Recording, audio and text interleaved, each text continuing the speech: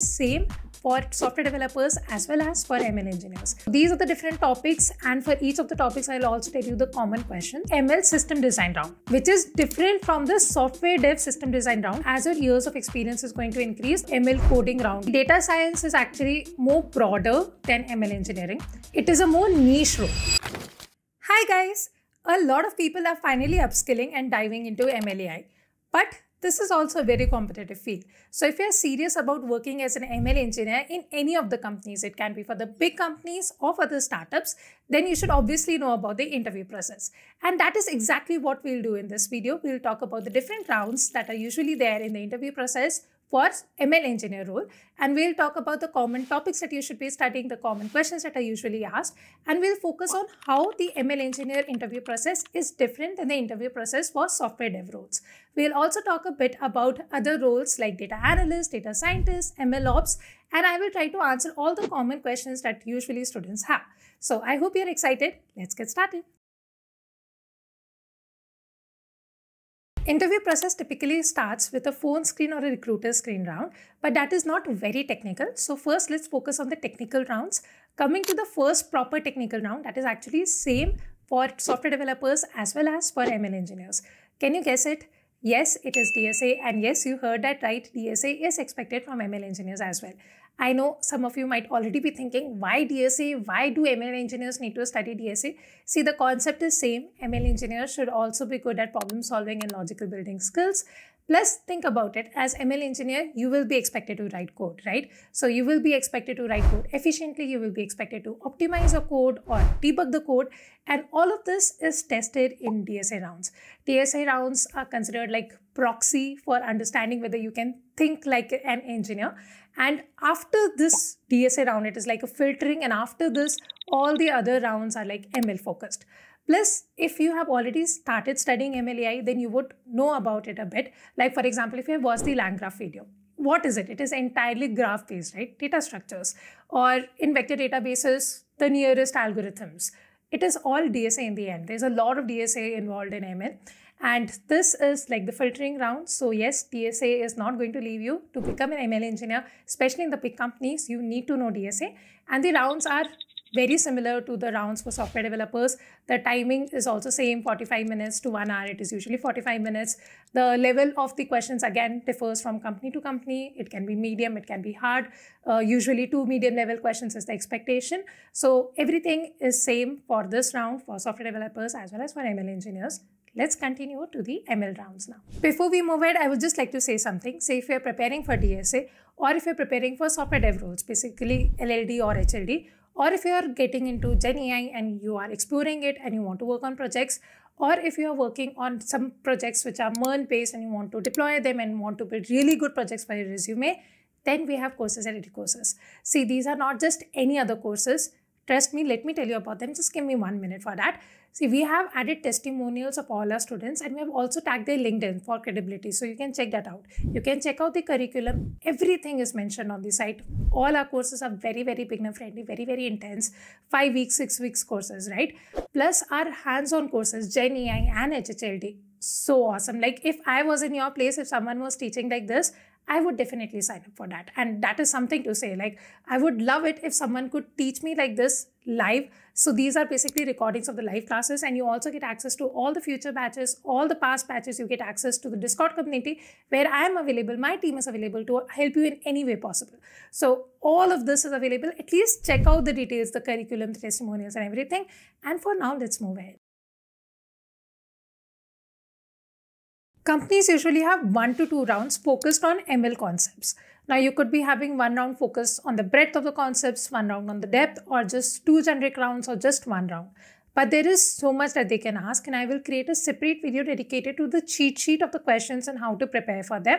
But let me give you an idea. So these are the different topics and for each of the topics, I'll also tell you the common questions. There can be questions focused on basics of model selection and supervised learning, like classification versus regression, overfitting, underfitting, bias variance trade-off, uh, questions on regularization, and so on. There can also be questions focused on model evaluation metrics like accuracy versus precision recall or loss functions like log loss, MAE, MSE, and all of this. You could also be asked about common algos like linear regression, logistic regression, decision trees, XGBoost, random forest, KNN, K-means, PCA, and so on. You could also be asked questions based on data handling, like handling missing data or uh, standardization, normalization, one-hot encoding, embeddings, uh, different ways of embeddings, and so on. You could also be asked questions on the basics of probability and statistics, Bayes theorem, conditional probability, central limit theorem, and all of these topics basically. Probability and stats is obviously very important. If the role that you're interviewing for is relevant to deep learning, then obviously there can be questions related to deep learning, like basics of neural networks, the different kinds of layers that are there, activation functions, backpropagation. You could be asked about loss functions, when to use what, like cross entropy, MSE, and all this. You could be asked about optimizers, again, when to use what. You could be asked about RNN, CNN, LSTM, transformers, basically all the GenAI basics. Other than these topics, there can also be questions based on production concepts like pipeline reliability, model versioning, retaining strategies, A-B testing, and so on. The next interview round that typically happens is the ML system design round, which is different from the software dev system design round that you might have heard of. So first, let's talk about what is ML system design. As the name suggests, here you're supposed to design an end-to-end ML pipeline. So here we'll start talking from data ingestion, basically how the data is going to enter the system, to data pre-processing, to model training, to model evaluation, deployment, monitoring, the entire end-to-end pipeline. Coming to the most common ML system design interview questions that are usually asked. So you could be asked to design something like a recommendation system for say Netflix, YouTube, Amazon, Spotify, or a feed ranking system, again for say Amazon or say for social media platforms like Insta. You could be asked to design a fraud detection system, a spam detection system, ad click prediction system. This is a very common question. Again, this can be for YouTube, for Spotify, for any of these uh, common apps, right? So I plan to cover all of these common questions on the channel. So guys, what other reason do you need to subscribe and share? Don't you think I deserve it? I am creating so much of free content and there's a lot of effort that goes behind it. Please consider subscribing and sharing because a lot of this content is actually not available and a lot of research goes behind it. Don't make me convince you more. Please do it. No, share it. Subscribe. Come on, do it. Also, comparing software dev system design versus ML system design. I hope you understand that there are going to be some common things, some similarities in both the system designs. Like, for example, in both the cases, we will discuss, say, scalability, reliability, latency these discussions have to happen in all kinds of system design discussions, right? So these will be the common things, even in terms of interviews. In both the cases, we will have a broad question and we have to communicate with our interviewer to drill down to the exact requirements. Like for example, in software dev system design, the question can be design YouTube or design Amazon. In case of ML system design, the question can be uh, design recommendation system or ad click uh, prediction system, right? So Again, in both the cases, it is very broad and you have to communicate with the interviewer to drill down to the exact requirements and design accordingly. So the common principles are going to be there, but the core focus is actually different. Like for example, in software dev, what is the core focus? The core focus is on microservices, on API design. So there is one request, then there is business logic, and there is response. And then because there is like networking happening over there, so the discussions happen around networking, around databases. Here, the entire focus is on model lifecycle. So here the focus is on data flow, pre-processing, model evaluation, model training, and all of this, right? So the core focus is different, but obviously there are going to be a lot of similarities and how you handle the interview is also going to be very similar. So these are the common technical interview rounds that usually happen for ML engineer roles. Let's talk about the entire interview process once. But before we do that, let me give you a disclaimer that obviously this is going to vary from company to company, from team to team. There is no proper guideline that, okay, this will always happen. It can vary, obviously. I hope that is clear. This is the usual process, okay? So in the starting, the first thing that happens is, say, a recruiter screen round where the recruiter gets in touch with you or maybe someone from the team where they're going to analyze your background, some basic technical questions may be asked to just see whether you are ready, whether you are the right fit for the role or not, whether you are even ready for the interview or not, right? So that is like a very basic filtering that happens. Then one to two DSA rounds might happen. Then one to two uh, ML concepts round, one to two ML design rounds.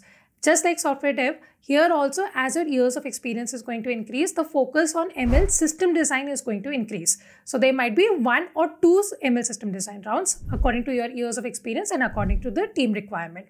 And after all of this, there is usually a behavioral round, which is again common to the software dev roles, where you discuss things like leadership, team collaboration, and all of that. So, this is the usual interview process. I'm again saying that some companies do things differently, and there might be some extra rounds for a few companies. Like, for example, you might be given a case study or a home assignment where you might be given, say, a ML pipeline to be built or to be analyzed.